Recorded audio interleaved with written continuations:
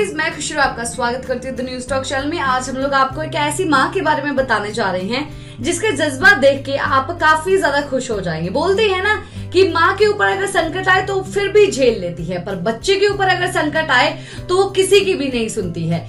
माँ ने 1400 किलोमीटर दूर सफ़र किया और अपने बेटे को एक जगह पर जहाँ पर फंसा हुआ था, उसको वापस घर लेके आई।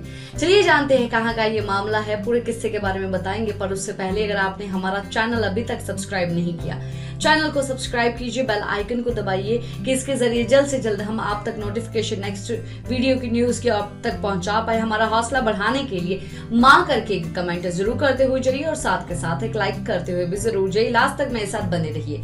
हमारे सामने ये मामला तेलंगाना के निजामोबाद से आ रहा है, जहाँ पर एक महिला ने अपने बेटे को जब फंसा हुआ देखा कि उसको वहाँ घर पे लेके आना है, तब उसने 700 किलोमीटर का सफ़र तय किया और ये सफ़र तेलंगाना के निजामाबाद से आंध्र प्रदेश के नेल्लूर तक उसने किया वो भी स्कूटी पे।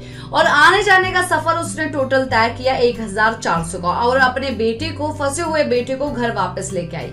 अभी ये चर्चा का विषय बना हुआ है। हर जगह पर ये माँ की फ़ोटोज़ वायरल हो रही है और दोबारा से फिर लोग याद कर रहे हैं कि माँ महान होती है। सच में कोरोना वायरस बहुत ही ज़्यादा संक्रमित हो रहा है और अभी तक साढ़े छह हज़ार से ज़्यादा अभी केसेस बढ़ते हुए जा रहे हैं। 199 लोग की मृत्यु हो चुकी है। 400 से ज़्यादा लोगों अभी ठीक होने की भी रिपोर्ट आ रही है सामने। तो माँ ऐसे आ, मुश्किल घड़ी में अपने बच्चों को बाहर कैसे छोड़ सकती थी? तो इसीलिए इस माँ ने इतना बड़ा लंबा सफ़र तय कर लिया। माँ करके कमेंट ज़रूर कीजिए। इसी के साथ मैं लेती हूँ इजाज़त। बाय टेक केयर नमस्कार।